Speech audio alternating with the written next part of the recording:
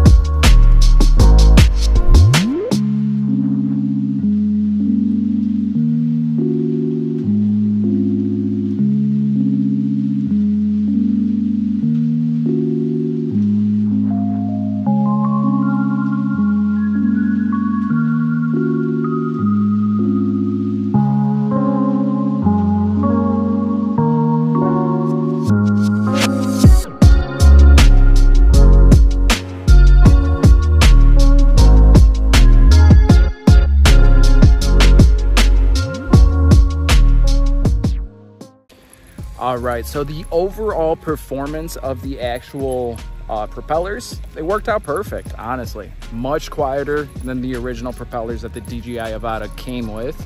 Uh, overall, if I would rate them on a scale, I'd say a good seven, seven out of 10, you know? They didn't, they weren't as efficient when it came to like speed and stuff like that, but you got a way quieter sound. So when you're shooting in parks and stuff like that, that's always beneficial because like I said, unwarranted conversations with Karens is always something you want to avoid. You better freaking. I'm gonna freaking take this freaking No, thing. No, you're not. No. What? Okay, what what you, what's wrong with you? We.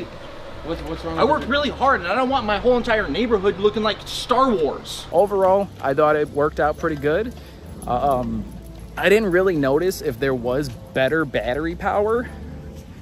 Uh, so yeah, I mean, that's really all I got for you guys today. As always, be sure to like, comment, and subscribe, please. Leave a comment down below. Have you gotten these new drone propellers? What do you think? Um, it was still leaning to the right a little bit, so I don't know. Maybe some more calibration, whatever. Keep updating firmwares, I guess. And uh, we'll go from there. Peace out, guys.